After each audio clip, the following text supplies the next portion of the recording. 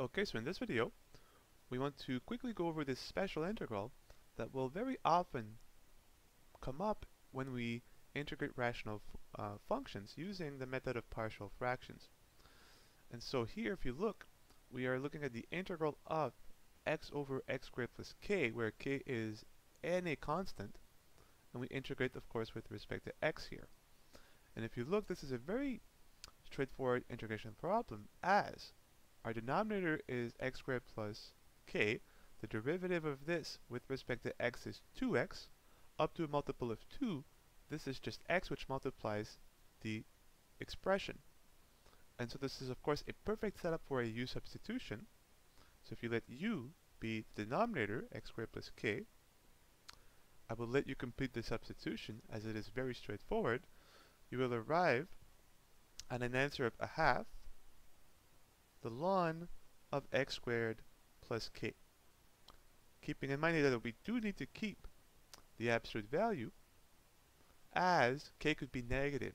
So this could be, for example, x squared minus 10. And that's it. So every time that you integrate a rational function using the method of partial fraction, if this integral comes up, you will no longer have to perform the u substitution, and you can jump directly from the integral to its final answer, being a half the ln in absolute value of the denominator, plus of course c. And as always, you can verify this in 10 seconds. If you simply differentiate your answer, you will get back the original function, right? If you differentiate this as a simple check, suppose that you want to skip the u substitution, and you're thinking, okay, is this integral really equal to this? Well, differentiate. 1 half will stay there. The derivative of ln is 1 over the argument, so 1 over x squared plus k.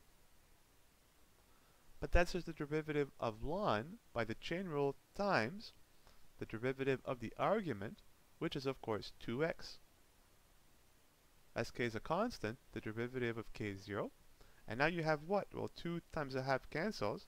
And if you combine, you're left with x over x squared plus k, which indeed is the function that we were integrating.